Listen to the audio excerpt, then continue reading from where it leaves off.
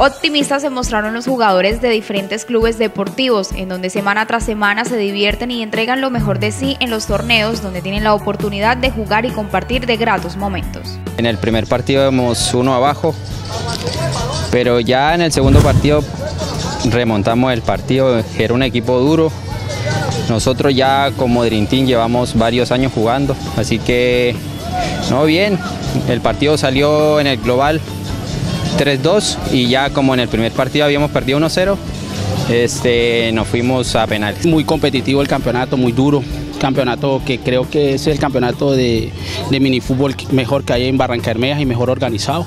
Entonces la competencia es dura. Todos los fines de semana hay competición acá en ese campeonato. Ahorita estamos ya en otra, en la segunda ronda, que ya es partido de ida y vuelta. El equipo que va, pierde ya queda eliminado en el ida y vuelta. Grandes son sus experiencias y sus objetivos son claros. Es por eso que su nivel lo quieren superar para poder lograr un título en donde sea demostrada su entrega y esfuerzo en cada uno de los encuentros.